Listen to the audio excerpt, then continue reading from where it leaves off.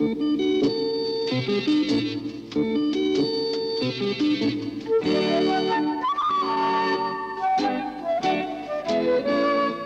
town is full of buildings, some tall, some short, some wide, and some narrow.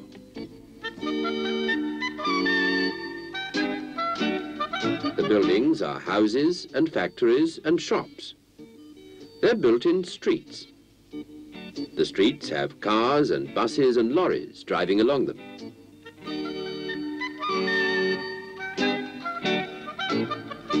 The cars and buses and the streets are full of people. In fact, there are a lot of people in a town. Do you live in a town?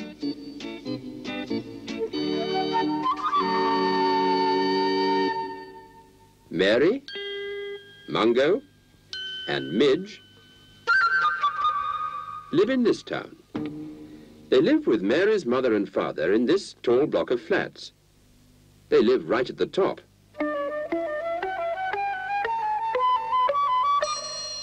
There are eight flats built on top of each other. Mary, Mungo and Midge live in the flat with the flowers growing in the window box. There's Mary. There's Mungo.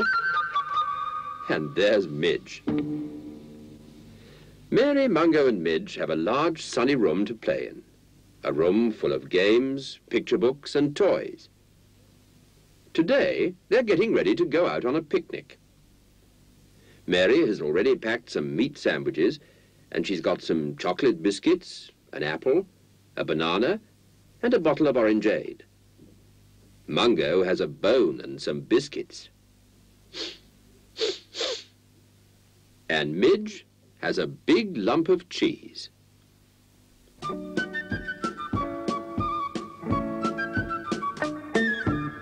Hmm. Midge had a big lump of cheese. Midge, you've eaten your picnic already. Now you've no food to take with you. What a silly mouse. Oh, well, I'm ready. So am I, when I've changed my clothes. I'm not ready. I'll wait up here for Midge. We'll join you in the car. Midge likes music.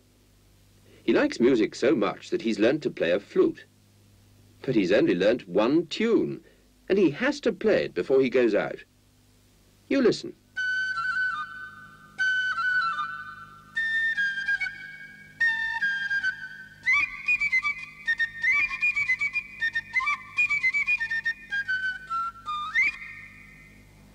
By the time Midge had finished his tune, Mary, her parents, and the picnic were all in the car outside the flats.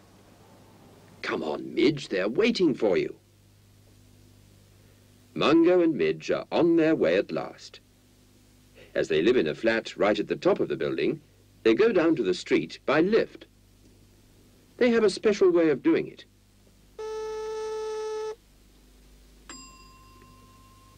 If they don't come soon, I'm going without them.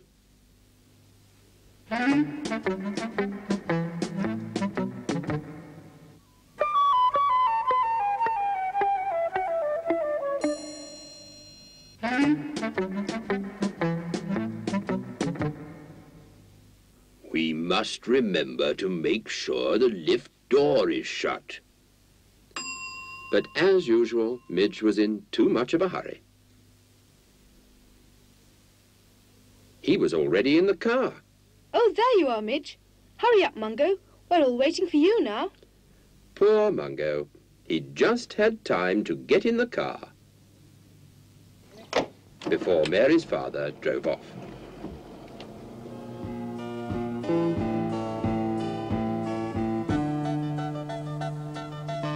But a car won't run without petrol.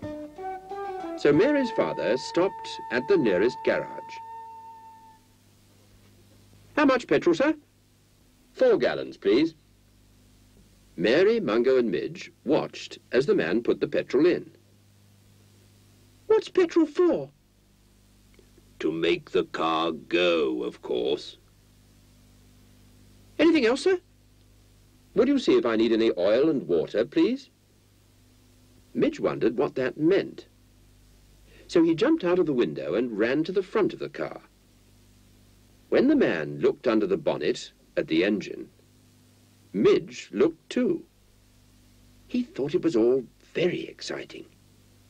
He had never in his life seen so many strange shapes and pipes and wires and bits of machinery.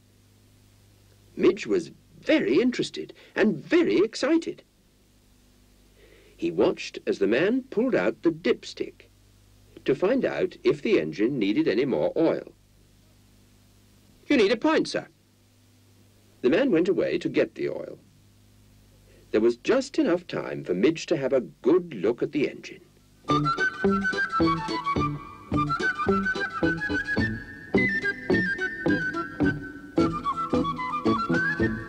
The man came back with a pint tin of oil. Midge jumped back onto the side of the car and watched him pour the oil into the engine. Then he watched the man pouring some water into another part of the engine. Then he looked round and saw something else. Another car was being pushed into the garage workshop. I must go and have a look in there to see what's happening. Inside, he saw that the car had a flat tire. There were a lot of other cars waiting to be mended. He watched a white car going up on a sort of platform. He liked that car because it was a sports car with the hood down. He watched a man look up into it, but it was too high up for Midge to see anything, so he went back to find the car with the flat tire.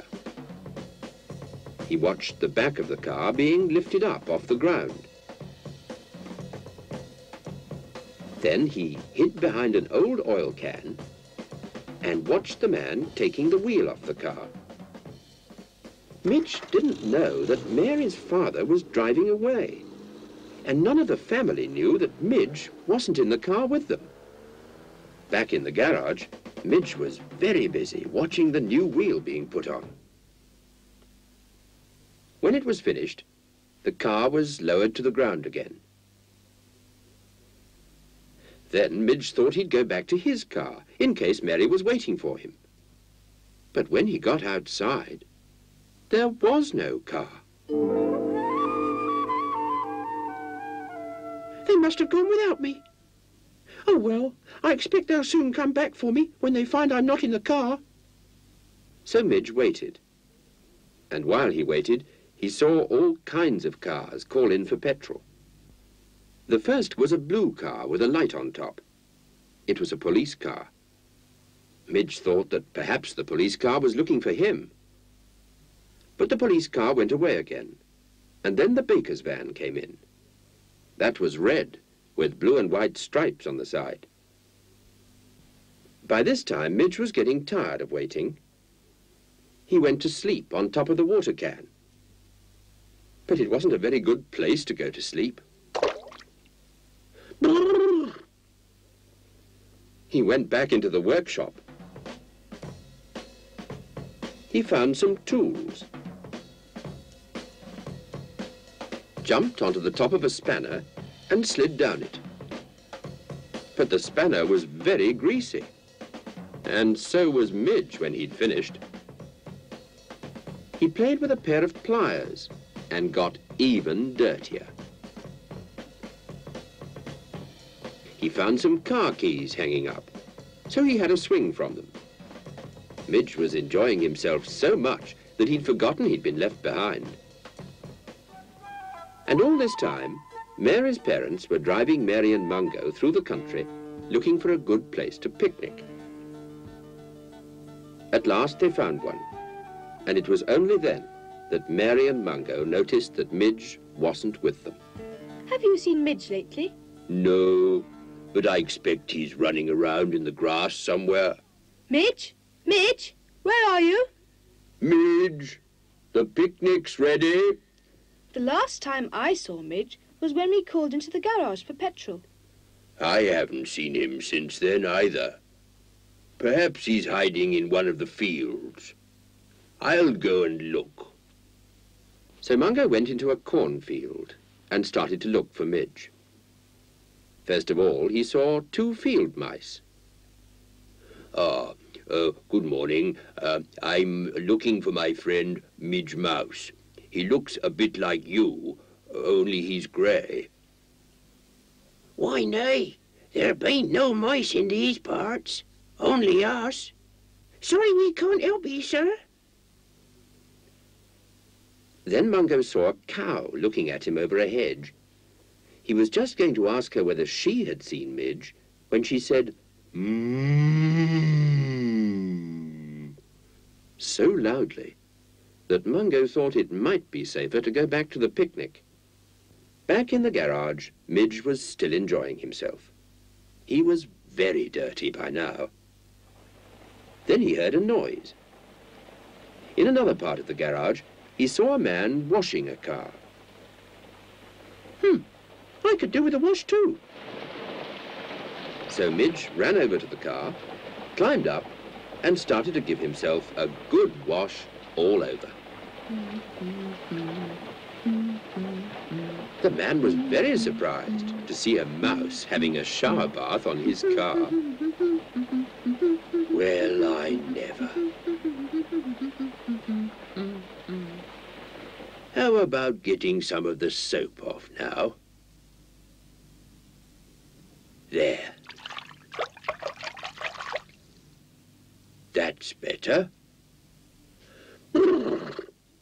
Oh, that water is wet and cold.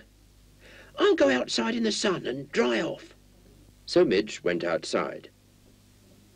As he lay in the sun, he watched more cars come in for petrol. By the time he was dry, he saw a car he knew. Mary and Mungo had come back for him at last. Hello, Mary. Hello, Mungo. Here I am. So this is where you've been. We've been very worried about you. Well, you drove off and left me here. We wouldn't have done if you'd stayed in the car. Come on, boys.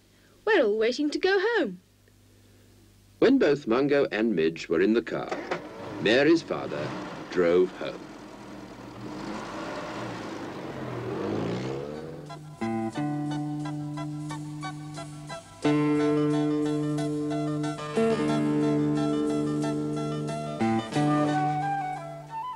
They got back to the playroom, Midge ran straight to Mary's toy car. Now what are you going to do, Midge? Well, first I'm going to put petrol into it to make it go. Hmm. Then I'm going to open up the engine and put in some oil and some water, because cars need oil and water too. Hmm. Then I shall lift it up on a sort of platform and make sure that everything is all right underneath. Goodness, Midge, you have learnt a lot about cars. Only, first of all, oh, I think I'll have a little sleep. It's hard work being a garage man. Oh, good night.